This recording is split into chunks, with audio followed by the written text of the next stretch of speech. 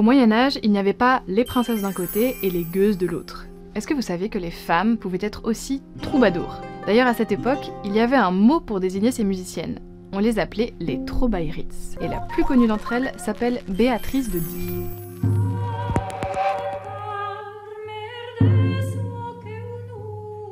Comme les autres Trobairites, elle vit dans le sud de la France autour du XIIe siècle. Ces musiciennes sont riches et passent leur temps libre à écrire des poèmes et à composer de la musique. On a conservé quelques-uns de leurs poèmes, mais les partitions ont toutes disparu, sauf une, celle de Béatrice de Die, à Chantarmer.